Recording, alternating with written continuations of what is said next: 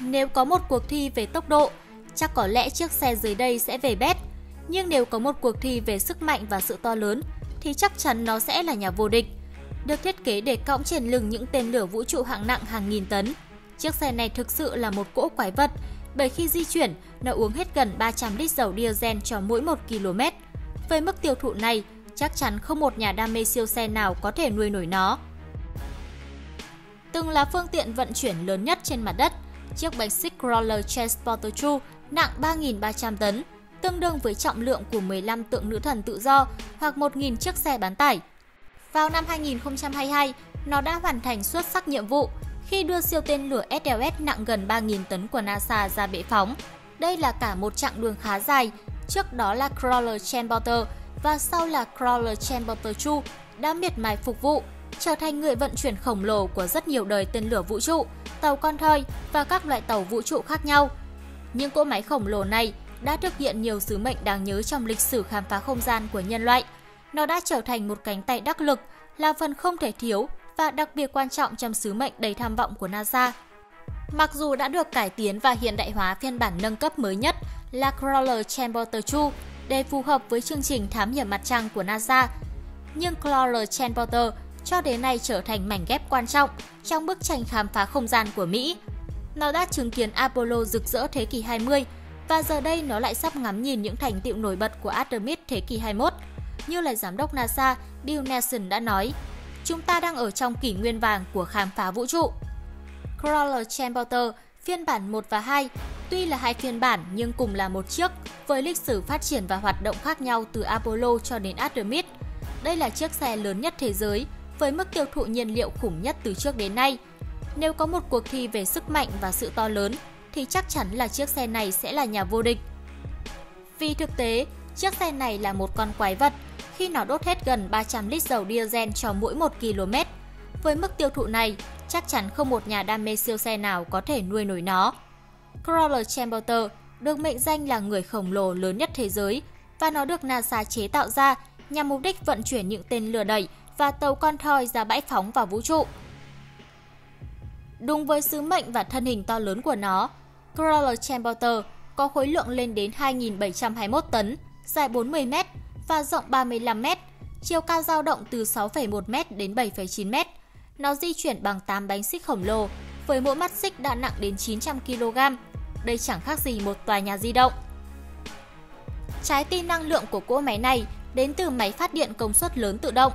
Chiếc xe này có tổng cộng 16 động cơ điện hoạt động nhờ 4 máy phát điện công suất 1.000 kW và hai động cơ diesel có công suất 2.750 mã lực. Sau khi được nâng cấp vào năm 2003, Corolla Chamberter có thể chở được khối lượng lên đến 9.000 tấn.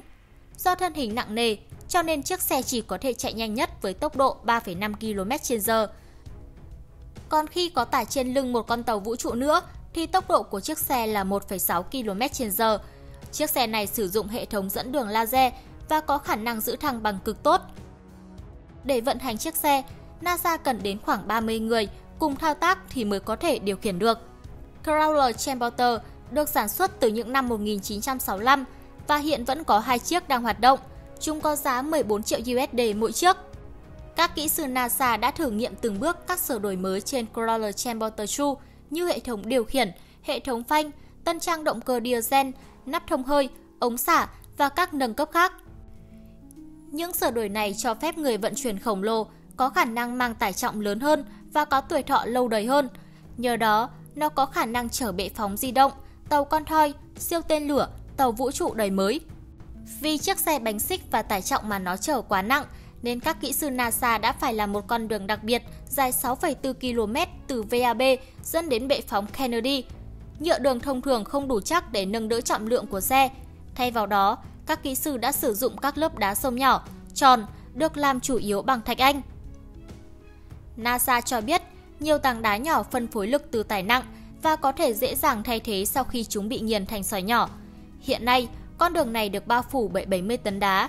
Để hạn chế lượng bụi do bánh xích gây ra, gây hại tới máy móc, một chiếc xe tải sẽ phun nước lên đường đi của Crawler Chamberter. Bagger 288, máy đào đất đắt nhất, lớn nhất thế giới.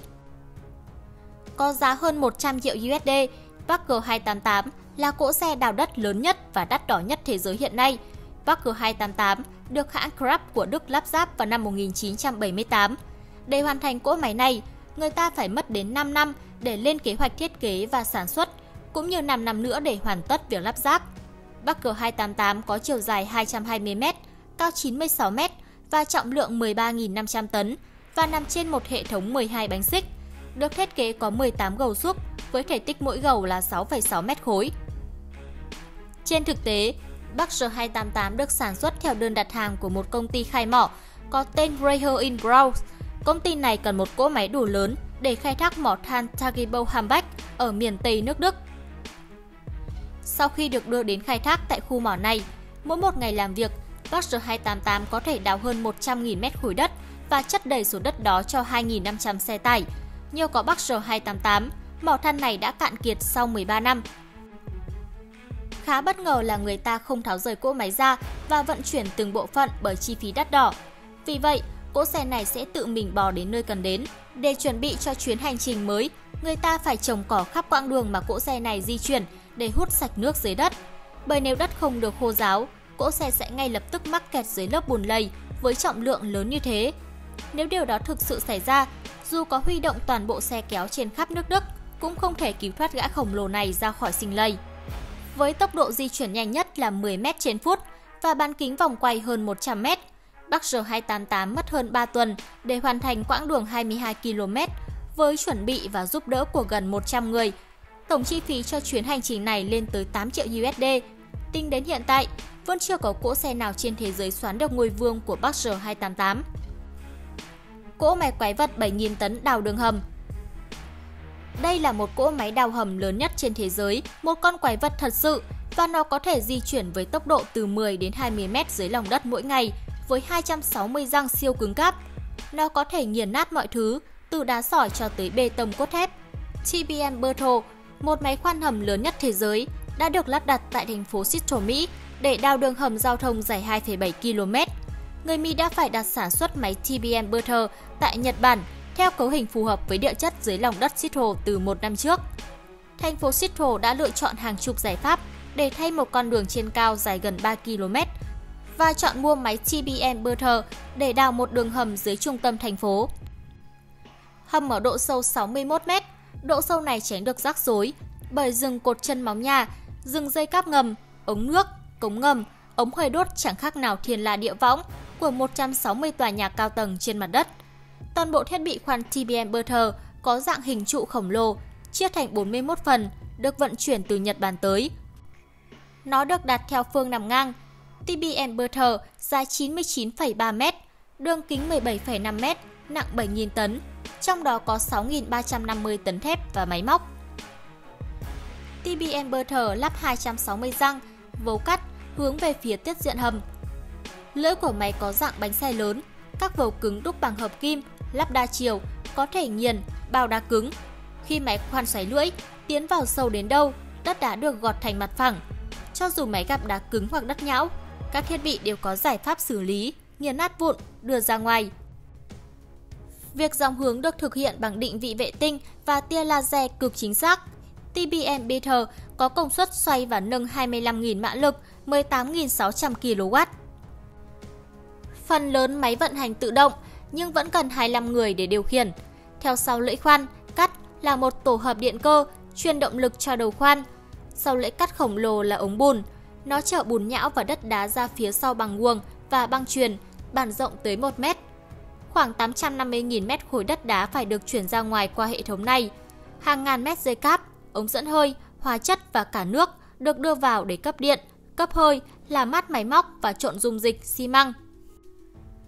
Bên trong vành đai đầu tiên là hệ thống kích thủy lực rất lớn, có tác dụng tịnh tiến, đẩy lưỡi cắt về phía trước. Hàng ngàn cấu kiện bê tông đúc sẵn hình cung, dày 0,6 m, liên tục được đưa vào bằng xe gòn. Mỗi bộ cấu kiện hình cung nặng tới 163 tấn. Tại đây, có một bàn tay máy lớn đưa các cấu kiện này lắp ghép thành khuôn hầm. Mỗi khoanh bi này rộng hơn 2 mét, gắn chặt các cấu kiện là hệ thống bù lồng vặn xiên cùng chốt khóa cứng các tấm lại – Nhờ có máy TBM Bertha, đường hầm này đã hoàn thành vào năm 2017. Sau đó cỗ máy này đã được tháo rời, đưa lên mặt đất. một số bộ phận bán lại cho nhà sản xuất Hitachi Johnson của Nhật Bản. Các bạn khán giả của Thiên Hà TV ơi, vậy là thời lượng của chương trình đến đây là kết thúc rồi. Sau khi xem xong video ngày hôm nay, bạn có suy nghĩ gì? Bạn có ý tưởng hay góp ý gì muốn gửi đến chương trình để có những video hay hơn nữa?